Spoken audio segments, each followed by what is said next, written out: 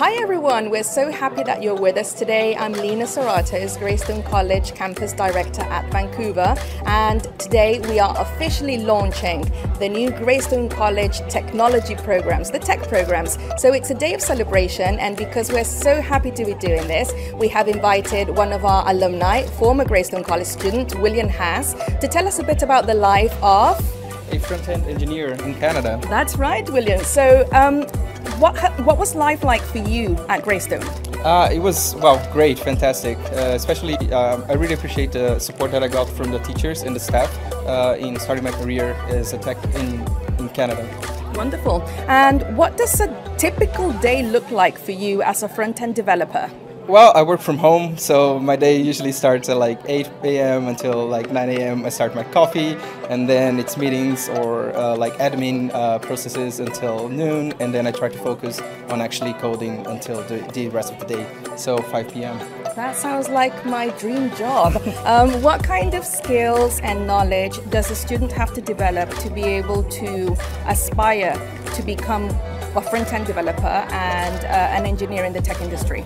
Yeah, uh, so I think, uh, well, I don't believe that uh, it's a skill set that anyone is born into. I think being curious and committed to something that you're doing is the, uh, well, those are the first steps to the, an actual successful career.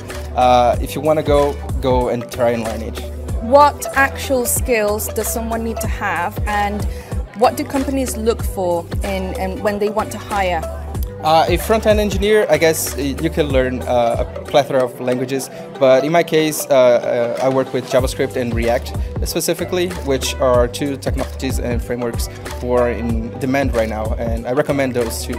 You're always learning. What kind of resources and where do you get them to continue being updated? Yeah, for sure. Uh, I, I, was a self-taught uh, engineer, so I recommend a lot of resources online will help you, and free ones like Google, like YouTube could help a lot um, and to stay up to date, I think uh, YouTube, Twitter, uh, Medium could help. So, William, what could you say to the people who are watching this video right now thinking in their home country, should I study this at Greystone? Should I go full stack developer, front end developer? Is it worth the while?